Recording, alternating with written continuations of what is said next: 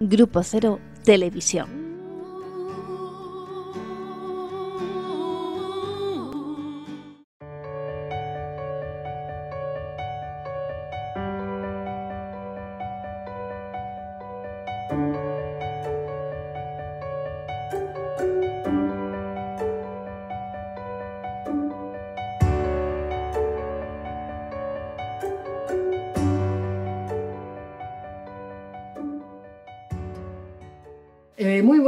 Norma. ¿Qué tal? ¿Cómo va? Mm, Bienvenida de nuevo aquí. ¿Qué tal? Genial. ¿Estás, ¿Qué? estás con el, contenta con el programa? ¿Cómo? ¿Con tu escritura? Ah, ¿cómo esto que hacemos juntas? Sí, bastante contenta. La verdad que me parecen unos, unos cuentos bastante rompedores Ah, sobre bueno. la historia de, de los cuentos, ¿no? Bueno.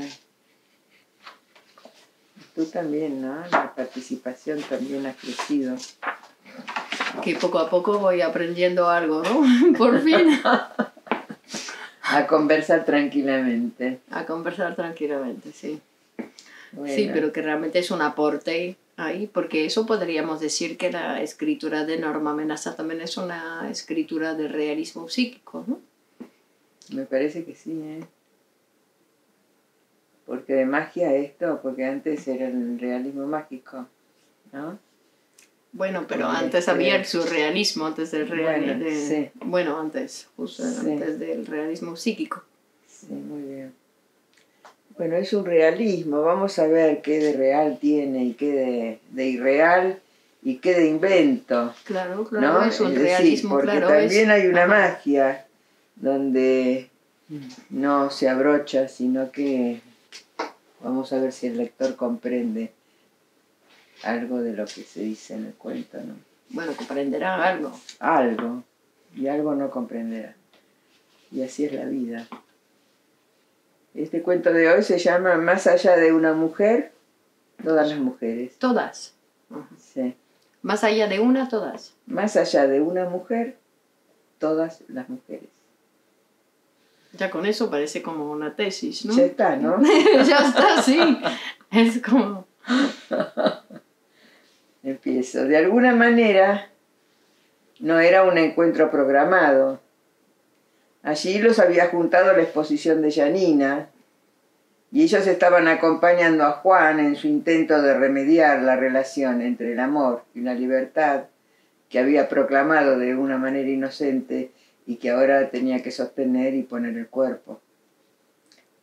Las veían avanzar hacia ellos con una sonrisa, un conjunto de dos mujeres y dos hombres esperándolas, cada uno con sus misterios, con sus sueños, ellas deslizándose como verdaderas propietarias de esa velada, quedando en el recuerdo la noche apasionada, vivida, una vez que se habían extinguido las frenéticas caricias y seguía intacto el deseo de vivir más allá del sexo despiadado que los juntaba y los separaba en varias ocasiones, como las de aquella noche que habían pasado juntos Ignacio y Janina.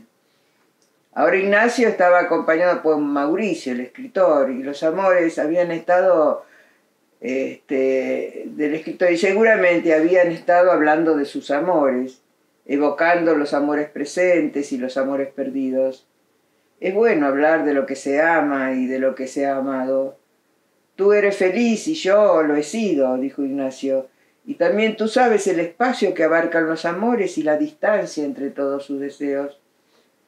Estar enamorado de lo que es digno de ser amado, reconocer en una mujer su imagen variable y al mismo tiempo lo que permanece siempre igual, ya que ellas son las negadoras de la aridez y del olvido.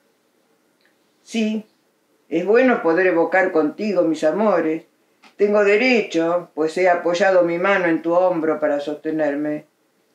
Hemos visto pasar a nuestro lado millares de hombres y mujeres, cautivos y cautivas, que de repente se liberaron mediante la palabra, un gesto, una mirada, unos ojos, una boca, un cuerpo que se abre con todas sus puertas y el mundo se llena de luz.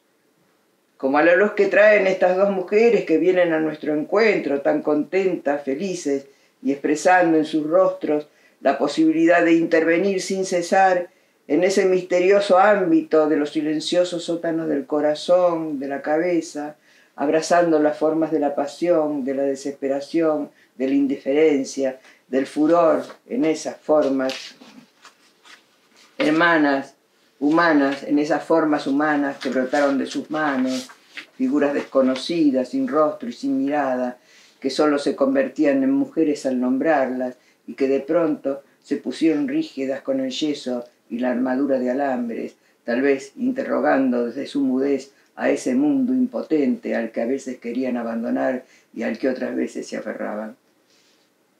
¿Y qué nos quiere decir con esta muestra y esos cuerpos reflejados como fractales, casi con las mismas características que se repiten en el espacio y se reproducen en los espejos, dando la impresión de que esto no se termina nunca? De haber tenido que ver con tu mano, conservando la preocupación de mostrar, de sorprender, cosa que te admiro. Sabes que muchos de entre nosotros por cansancio no vemos el mundo y son menos aún los que lo, los que lo producen. Habrá sido tu mirada la que alimentó tus manos. Ellas se cargaron con un grano que germina y aquí tenemos la obra realizada. Parece todo como un enredo del amor cuando se enreda es darse vuelta en este espacio de la galería y al volver a mirar todo ha cambiado. Que me doy vuelta y entre los, entre los reflejos veo aparecer mujeres niñas, mujeres flor, mujeres estrellas, mujeres llama encendida, máscaras nocturnas, blancos rosales en la nieve, son todas blancas, apenas está esbozado en tus esculturas el cuerpo de una mujer, pero están allí sumisas, dominadoras, quiméricas, vírgenes iluminadas, cortesanas perfectas, princesas de leyenda, todas cambiantes, ellas constituyen la fuerza y la razón de ser del hombre. Miro, y entre los reflejos de los espejos, entre sueño a una muchacha altiva tocada por las plumas de un pavo real, a una joven desnuda volcada sobre una roca tomando sol, a otra en el fondo del mar, y más allá la peor de todas sentada encima de una besa en actitud indecente, y a la otra indomable, que sin embargo se encuentra encadenada barriendo su celda. Todas tus imágenes te sirvieron de pretexto para mostrarnos la desnudez femenina. Janina le contestó que esto solo fue un intento de acercarles a la verdadera naturaleza femenina. No encontré otra, son formas que se repiten como una, una geometría sagrada, siempre idénticas, jugándose en la repetición y armando un conjunto siempre diferente, siempre multiplicándose hasta llegar a abarcar una repetición infinita, un infinito en la piel, un infinito metido dentro del propio cuerpo de mujer. Extraña casa en la que habitan, extraña manera de vivir, penetrando en las noches y en los amaneceres, el amor y el olvido juntos y expulsados al mismo tiempo. Ignacio agregó, circulamos, Mauricio, circulamos en medio de mujeres oyendo el cantar de la sangre, oyendo sus gemidos de pasión, su borde con la muerte, en un vuelo sin justicia, ciegas, por el largo camino de sus cuerpos, por sus tantas vidas desdobladas en vertientes ambiguas, toda la ternura y el terror juntos, ya todo está listo para que no podamos olvidarlas. Janina le sonrió, hizo una reverencia a lo general y partió tomada de la mano de Ruth, perdiéndose entre los rumores del silencio de esa noche de estrenos, dejándolos, dejándolos pensativos. Y ahí fue que Mauricio dejó caer en el silencio de Ignacio una pregunta. ¿Pero a quién amas tú? Al, marcharse dejaron una estela de perfumes en el aire y frente al anonadamiento de la pregunta, Ignacio recordó mentalmente a todas las mujeres, pero quedó en la pantalla titilando la figura de aquella adolescente peligrosa de la librería a la que veía todas las tardes antes de entrar en la galería y con la que tenía largas conversaciones. Sintió que el piso se le movía debajo de sus pies y quiso encontrar una respuesta sin hallarla. Él, por su lado, amar amaba a todas, pero ¿cómo decirlo? ¿Cómo confesar que más allá de las dos mujeres del drama amoroso, de los celos y de las lágrimas, se extendía una superficie como un cuerpo de mujer que no era capaz de apresar y que eso debía ser una especie de libertad sin cadenas donde poder anclar su hombría y producir nuevas historias, producir otras mujeres con la ilusión de tener otras vidas vividas, la repetición se le imponía y tal vez pensó que esta era su manera de compartir con ellas lo infinito. y ahí se termina. Muy bien, ¿eh? Por, digo, por la relación entre hombre y mujer. Ah, sí. ¿No? Que es una relación entre hombre y mujer. Están ahí los dos conversando. Sí, los hombres hablan de las mujeres y las mujeres hablan de los hombres. Sí, pero hablan entre ellos, digo, porque mm. tienen un pensamiento, piensan ahí que hay una, una conversación. Sí, entre ellas también, ¿no? Es una conversación de lo que se trata. Y este, y bueno, y ahí están haciéndolos hablar a estos personajes. Y de pronto, sí. ¿no? Porque había una escena de celos, ¿te acuerdas de que Ruth lloraba frente a Janina porque se había enterado de que Janina se había casado con Ignacio, ¿no? Y este, pero ahí pasa otra cosa, más allá de esa historia de celos y de lágrimas, dice, a él lo que se le apareció en la pantalla titilando fue la muchacha de la librería, esa francesa adolescente peligrosa, ¿eh? con la cual él pasaba a conversar todas las tardes. Y entonces ahí se abre el universo, me parece, ¿no? Ya no es una mujer y es historia celosa donde se juega Sí, pero bueno, fue a buscar en un recuerdo, ¿no? Fue a buscar en un recuerdo ahí de la juventud, ¿no? Como ese ese amor que no fue del todo satisfecho, que no se terminó, que no se cerró, que fue ahí. Sí. Pero como, como trampolín para hablar que después él estaba enamorado de todas, que todas eh, podían amarla, ¿no? Sí, mm. sí.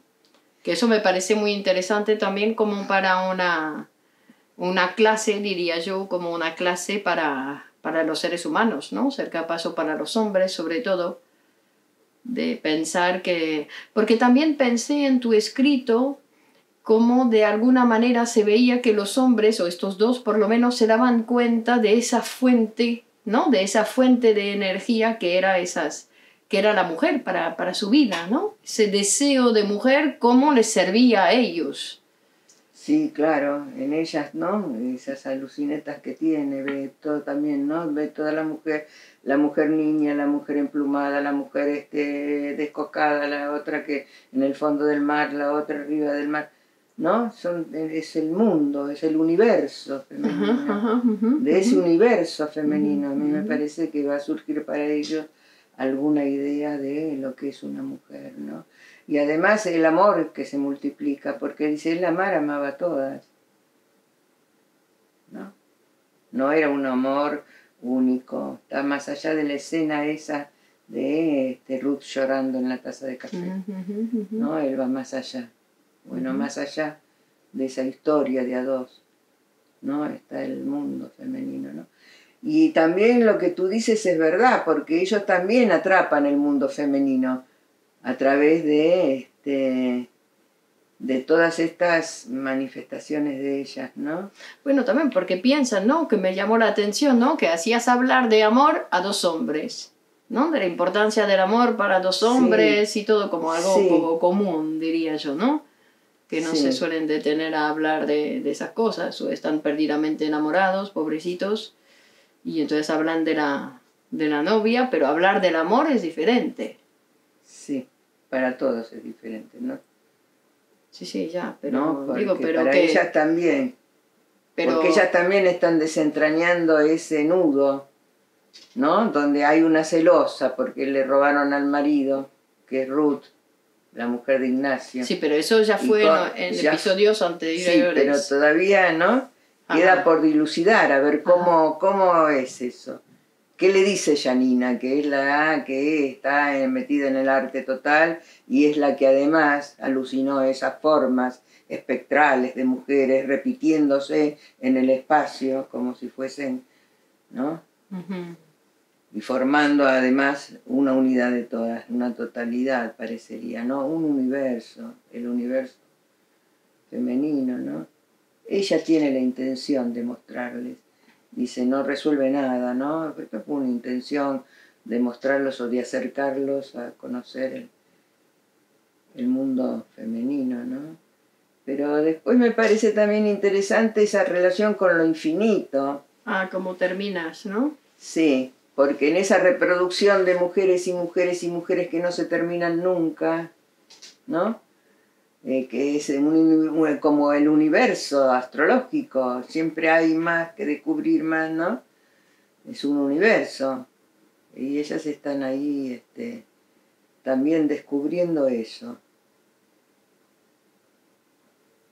¿No? Porque de todos modos, el, eh, digo que no se puede amar a todas las mujeres, ¿no? Es un imposible. Digo, porque hay una que no, no, no, no las puedes amar. No, es verdad, pero algunas no las podés amar porque no te significan nada también, ¿no? Digamos que hay también un amor inicial ahí, ¿no? Algo en común, algo que se suelda con el otro, que se, que se anuda con el otro, ¿no? Entonces, no, a todas no, pero a una por una de las que llegan a mí, se puede amar, ¿no? Y después a mí también me pareció muy interesante eso que dicen que esto que dice aquí, de que ellas son las que tienen la capacidad del olvido. Ah, sí, dijiste el olvido y otra cosa, ¿no? Y otra cosa el olvido y no sé qué. Son negadoras de la aridez. Ajá. Y del ¿eh? olvido. Y del olvido. De la falta de producción, ¿no? Y del olvido son ellas, son las negadoras, niegan. No hay olvido, ¿no? Este, bueno, para desarrollarte diré, ¿no? Estoy también como investigando un poco a través de lo que va surgiendo, de lo que me va llevando, porque claro, claro. ¿no? no hay, no tengo ningún propósito, ninguna idea. Ahora apareció el adolescente, ¿no? Apareció la chica de la librería. Sí, esto te gustó, ¿no? Esa me porque parecía que hacías un fallido. Yo pensé que era la pelirroja, pero no, era la peligrosa. La peligrosa adolescente de la librería con la que él va a conversar todas las tardes antes de entrar a su trabajo. Claro, pero que tenía 10 de pelo la nena tiene 16 años, dijiste. No sé, más o menos. Ah, pero no sé, un adolescente yo le, puse 16 años, ¿no? Entonces digo que es como un sueño, es como ¿no? Una nena, primero porque él vuelve a la juventud, también, ¿no? Que vuelve a ah. una cierta juventud. Sí, con ella, con él en esa relación, ¿no? Él vuelve a tener... Y sí, lo que el otro te trae también son inyecciones de vida, ¿no? Es decir, la relación con el otro en esa conversación, viste, todos hablando, ¿no? De la vida, es como cosas, pensamientos nuevos. Y cada nueva relación también tiene la posibilidad de transformarte, porque ya sos otro o otra con este otro. Ya hay una combinatoria que es diferente a todas las combinatorias anteriores. Y eso también es muy interesante, ¿no? Es decir, no, no es una maqueta que se repite de la misma manera soy la misma, pero diferente con cada sí, me hace recordar que Menaza decía ¿no? que en sus películas los puntos de giro eran frases. ¿no? Es decir, dentro de una conversación, pum, salía una frase que giraba ahí toda, toda la historia, ¿no? Sí, sí, sí. Y acá también en este... Porque son más reflexiones más que acciones, ¿no? Aquí hay más una, una reflexión, entonces están como más... No es que haya una actitud que provoque realmente en el otro, en la otra algo. Digo que lo de Londres, de la galería, es una excusa para reunirlos. Sí, para que puedan hablar. Pero Lo de ¿dónde los está? espejos también, ¿no? Es como otro Sí. elemento, es decir, para que puedan hablar, pero no para, para hablar. ¿Cuál es la acción? ¿No? Sería la pregunta. ¿Dónde está la acción? Hablar. Es hablar. Ahí pasa la acción. No hay actos. El acto fue tomar el avión y eh, aquella otra cosa que tiene en la cabeza. Sí, o Juan cuando O se Juan. desmayó, ¿no? Sí, la- sí. No sé qué, Que pero... quiere ahora arreglar esa cuestión, ¿no? Entre el amor y la libertad. ¿te Pero ahí estábamos con Mauricio e Ignacio. Acá sí, Juan no, Juan no está, no ¿no? está, no está, Juan. Pero es el que inicia el viaje, ¿no? El que propone el viaje. Y este. Bueno, es tiene- el, eh, a mí me parece que es el personaje principal en el sentido que sí, ¿ves? Porque cuando él es el que da al acelerador, cuando le dice a ella, ¿no? ¿Cuál era esa famosa frase que le dice, que no seas atrévete, cobarde. no seas cobarde? Y entonces Habla ella la ya dice, y- pum, ¿no? Entonces Sí. ahí es el detonante, Ese es el detonante de que le da a él también, ya que él también recibe, ¿no? Es decir, que también recibe. Sí. Pero ahora se tiene que hacer, ¿no? Ya dio el primer paso, fue al encuentro de ella y no se quejó. Ahora vamos a ver cómo, cómo continúa también ese diálogo sobre la libertad que él le propone, ¿no? No seas cobarde, déjame un papelito escrito y vete. ¿Sabes? Hay una película que tú habrás visto también que eh, Out of Africa. ¿Te acuerdas? Memorias de África. Con este... Con Meryl Streep Con y Meryl Streep, sí. Robert Redford. Sí, sí, sí, sí, sí. sí. No, porque ahí- Recuerdos de África se llamaba. Ajá, en. Argentina, ¿no? Sí. Porque yo, el recuerdo que tengo de esa película es que él le da la libertad a ella. Incluso llegan a decirse, ¿no? Porque hay muchas conversaciones, son conversaciones mezclado con el paisaje de Sí, África, que en los años 80 eran imágenes alucinantes, ahora ya hemos progresado bastante y ya nos parecen un poco viejitas, pero entonces eran conversaciones eh, de ellos, ¿no? Donde mm, creo, porque él se muere al final, tiene un accidente de avión y se muere. Sí, Pero qué accidente y eh, accidente. Le quiere dar la libertad y ella no quiere. No quiere su libertad, lo quiere a él ahí. Y él entonces, después sabemos que al final de la película hay alguien o es ella que se lo dice a él, no me acuerdo bien, donde le dice, claro, me haces creer que te vas en avión por razones de negocio, pero no vas por razones de negocio, vas para dejarme a mí, para que ella tenga su espacio, para que pueda vivir su vida, para que pueda estar sin él. Sí. El título de esa película eh, en Argentina era África Mía. Ah, África mía. África Mía, ¿no? Ahí se juega la cosa de la posesión, ¿no? Claro, pero por eso, que a mí me Pero- parece, de lo que recuerdo, era como que ella era más, eh, como vamos a decir, más posesiva que él, que él tenía un pensamiento Sí. sobre la relación amorosa bastante más moderna que, que ella. Sí, puede ser, ¿no? Este también parecería que la, la, la empuja a ella para que ella Por eso, tome la por libertad, eso, por ¿no? eso, por eso. Pero hay que ver cómo lo sostiene después. Por eso, pero ella lo agarró ahí, ¿no? Sí, que ahí me pareció que en la película, pero habría que volver a ver porque eso es un recuerdo que yo tengo ahí de...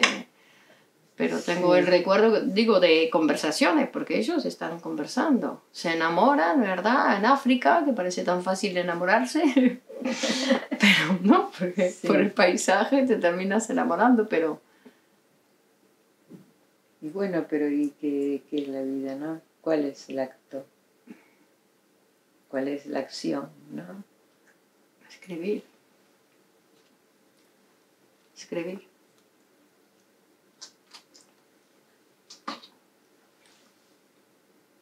Porque también, ¿te acuerdas la frase de Menaza que dice, aprender a conversar tranquilamente, eso enseña el amor? Y viste, cuando te pones a hablar, decís aciertos y desaciertos, ¿no? Y hay equivocaciones y hay ideología que se te mete en el medio. Hablar es un desastre. Digamos, se ve, se ve todo cuando uno habla. Sí. ¿No? Pero tranquilamente, ¿no? El amor es Bueno, pero entre palabra y palabra está la Ajá, modificación del otro, ¿no? Digamos, esos puntos de giros de la película que tú me muestras, que es una frase, ¿no? Son palabras. Esa es la acción motriz, la que, ¿no? Ajá. Hace todo el argumento después. Bueno, ahí estamos. Conversando. Está bien, está bien. Está muy bien. Pues Bueno. eso, que me parece un libro muy moderno. Muy como es que moderno no me gusta la palabra la verdad pero muy transgresor muy transgresor mira tus personajes muy transgresor sí porque podemos pensar que hay gente que va a vivir así por ahora nadie vive así ¿no? Van, va a pasar. Esto también va a pasar. como que eso también va a Y pasar como que Julio Verne, La Vuelta al Mundo, ¿viste? exacto que es una ¿No? Que hay posibilidad una por eso anticipación en la escritura, ¿no? Pero son las utopías. Si no tenés utopías, si no tenés ilusiones, si no tenés, ¿no? Ese proyecto delirante que es una utopía. No continúa la vida, se te paró la máquina. Claro, porque cuando hablamos del entusiasmo, claro, porque sería algo así, es decir, que saber que tú estás trabajando y que lo que estás haciendo realmente hay alguien en algún momento, ¿no? Cuando tú ya habrás desaparecido, que pueda pillar algo, que pueda hacerte vivir en ese momento. Bueno, como lo he piliado yo, Claro, esto no es Claro. un invento mío, estas Claro. son palabras y palabras y, por y supuesto. palabras que me llegaron, supuesto, por supuesto. modalidades y lecturas y vidas, y vidas, sobre todo vidas, ¿no? Vidas contadas. Debido también a mi profesión, tal vez, ¿no?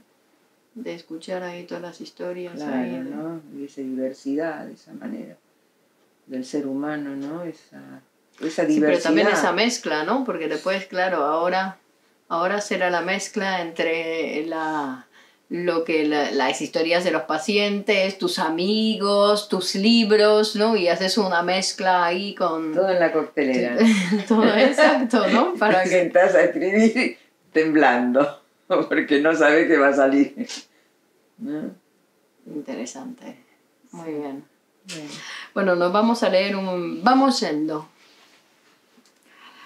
Arriero, dile a la tropa que arreas, que surque el monte y los llanos, que busque su comida y emprenda en la arruga silenciosa del sendero el camino de regreso.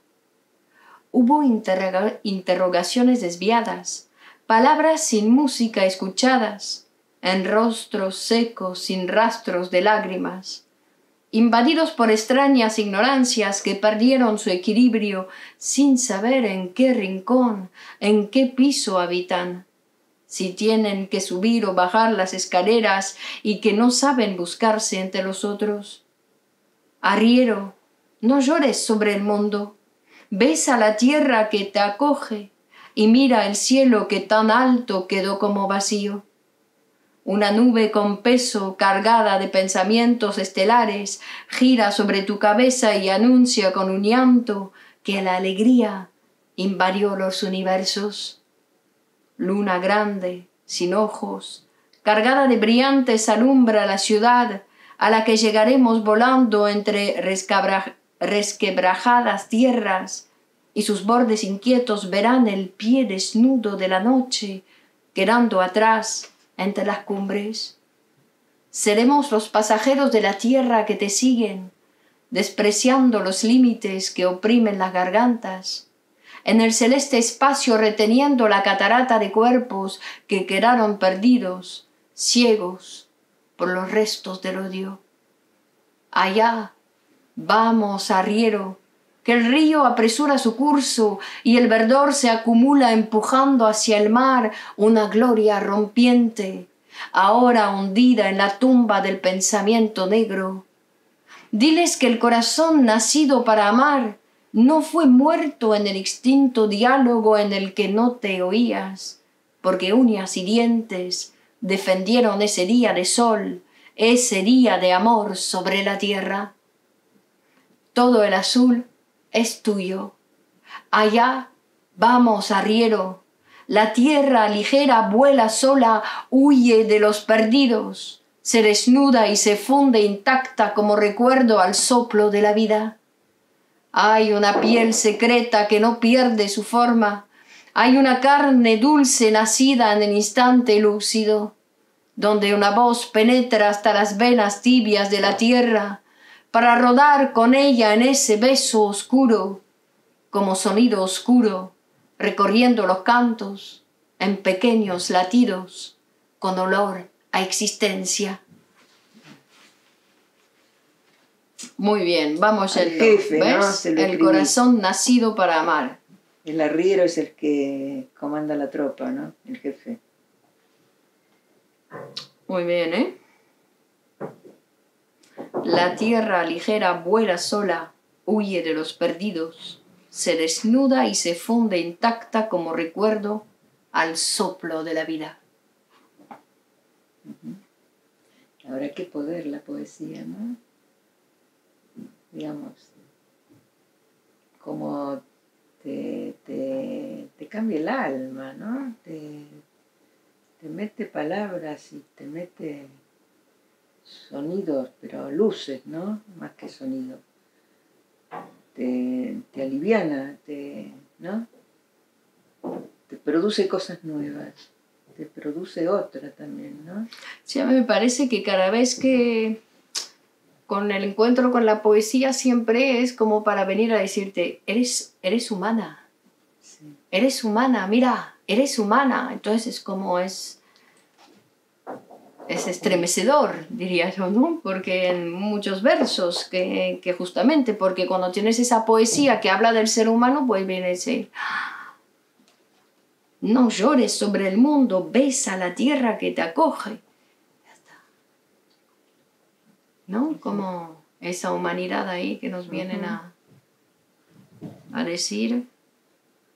Y efectivamente, porque te ilumina lugares de tu humanidad. Claro, ¿no? Te los, re- te los renace, te los renueva. Sí, o te lo ilumina, olvida, te sí. ilumina, te es, ¿no? Como si hubiese un terreno en la oscuridad que es tu, tu humano y que hasta que no pongan luces no existe. Entonces la poesía es una manera de poner luces en ese terreno para, ¿no? Para tener más humanidad. Claro, claro. Y además ahí ves los otros también, ¿no? Porque siempre cuando la humanidad para mí siempre es poder pensar que el otro, poder pensar al otro. Y tiene un poder transformador, ¿no? Porque es como descubrimientos, ¿no? Esto que tú dices, de iluminar, iluminaciones, ¿no? Y claro, porque ya no puede ser el mismo. Sí. Si se te ha iluminado un cuartito que no conocías de tu vida, tú me dirás, ya no eres el mismo, ¿no? Sí. Pero bueno, Bueno, hay que atreverse esa- un poco a esos cambios. No, que y no- además aliviana, ¿no? Eh, Hace flexible, hace, hace que la estructura que a veces se rigidiza en costumbres, en dogmas, hasta en frases hechas, en opiniones, ¿no? Viene la poesía y es como una piedra contra el muro, ¿no? De Bueno, pero eso sería también una razón de por qué hay tanta gente que se aleja, ¿no? Que no quiere saber nada de la poesía, ¿no? Porque está Sí. agarrada ahí a sus frases hechas y todo eso, te viene la poesía Sí. y que ya no sabes dónde está la frase hecha, te la, o sea, te la, te la olvidaste, el tiempo de la lectura te lo olvidaste. Entonces, digamos claro, que deshace o este, aniquila la dureza.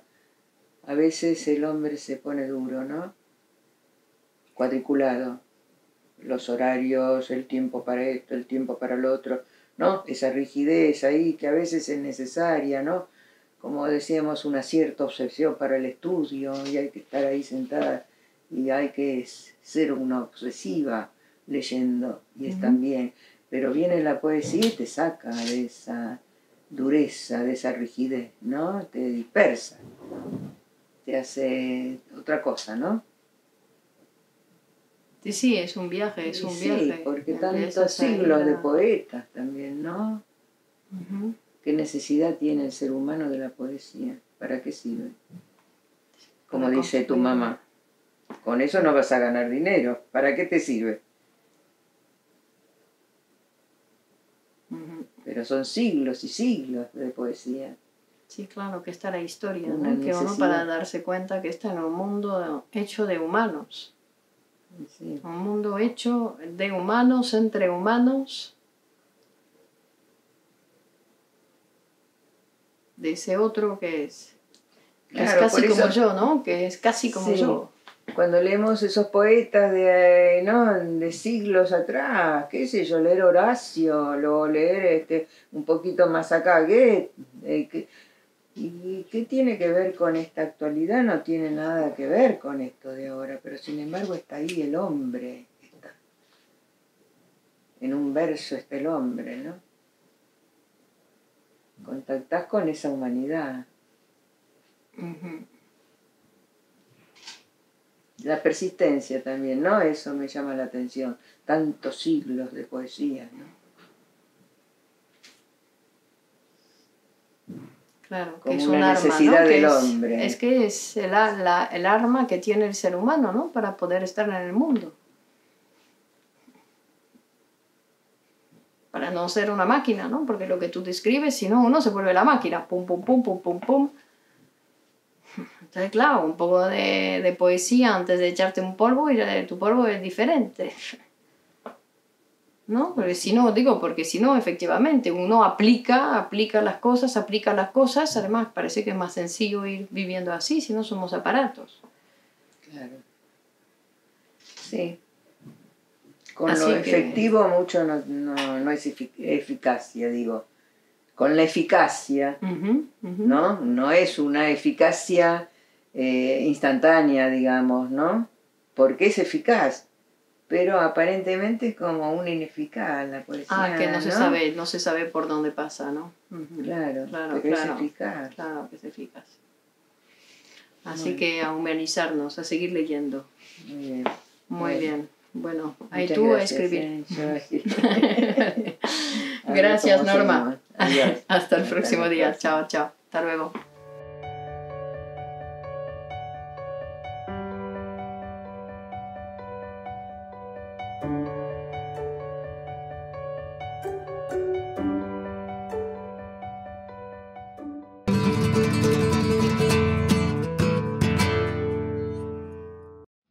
¿Sabías que para psicoanalizarse no hace falta estar enfermo? Psicoanalizarse es hablar con alguien que aunque no te diga nada, sabe lo que te está pasando. Departamento de Clínica Grupo Cero. Somos especialistas en psicoanálisis. Te atendemos en Madrid y también en nuestras consultas online. Llama al teléfono 91 758 1940.